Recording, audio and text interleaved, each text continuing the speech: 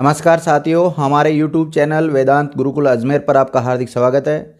विद्यार्थियों, आज हम चर्चा करने की तरफ़ जा रहे हैं ईओ एंड आरओ की जो भर्ती है, उसके संदर्भ में और उसका जो परीक्षा योजना और पाठ्यक्रम है, उसके ऊपर चर्चा करेंगे। तो देखिएगा, सबसे पहले तो आपको ये पता होना चाहिए, जो ईओ होता है, ईओ का इंग्लिश में फुल फॉर्म क्या होता है? तो एग्जीक्यूटिव ऑफिसर इसका फुल नेम होता है और आरओ का मतलब क्या होता है? रेवेन्यू ऑफिसर होता है।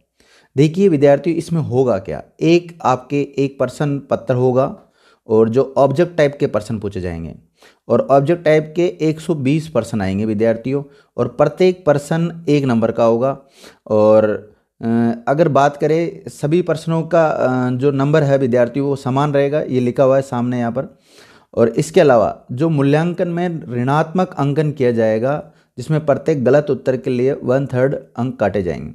तो अगर आप नेगेटिव करते हैं तो उसके वन थर्ड होगा और प्रश्न पत्र का जो स्तर मान है, वो स्नातक स्तर का होगा। इसमें विद्यार्थियों पेपर तो एक ही होगा, लेकिन उसके पार्ट दो होंगे। एक तो पार्ट ए और एक पार्ट बी देखिए, प्रश्न पत्र इधर दिया हुआ प्रश्न पत्र, यहाँ दिया हुआ इसका अंक और अधिकतम अंक और जो समय, दो घंटे का पेपर होगा विद्यार्थियों और 120 परसेंट आएँगे।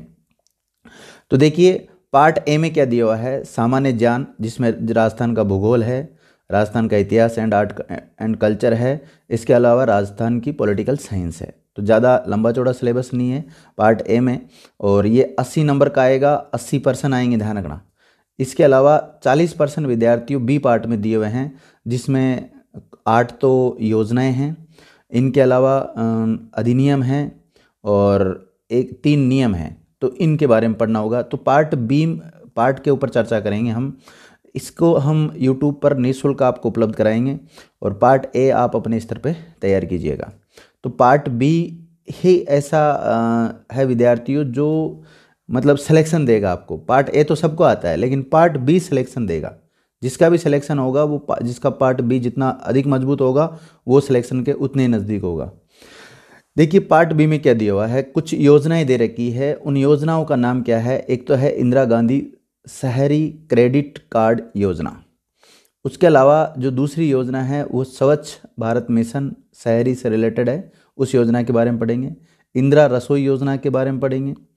प्रधानमंत्री आवास योजना, इसके बारे में पढ़ेंगे इसमें। और इंदिरा गांधी शहरी रोज़गार गारंटी योजना के बारे में पढ़ेंगे। एक अमृत योजना चलती विद्यार्थी, उसके बारे में पढ़ेंगे। उसके अलावा एक हृदय योजना है, यानी कि राष्ट्रीय विरासती शहर विकास एवं संवर्धन योजना है। उसके बारे में चर्चा करेंगे। और एक राष्ट्रीय शहरी आजीविका मिशन, इस योजनाओं के बारे में चर्चा करेंगे। तो इस प्रकार आठ योजनाएँ दे रखी हैं। ठीक है? अब आता है एक बहुत ही इंपॉर्टेंट विद्यार्थियों, राजस्थान नगर पालिका अधिनियम 2009 इस जो 40 परसेंट आएँगे, कम से कम विद्यार्थियों 15 परसेंट इसमें छुपे हुए हैं।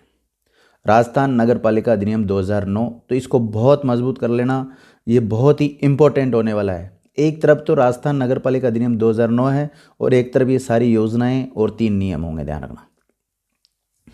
देखिए, राजस्थान इसके अलावा, इस एक्ट के अलावा राजस्थान नगर पालिका समितियों की शक्तियाँ कर्तव्य और कृत्य नियम 2009 इसके बारे में पढ़ेंगे। इसके अलावा राजस्थान नगर पालिका कार्य संचालन नियम 2009 बने हुए उनके बारे में पढ़ेंगे।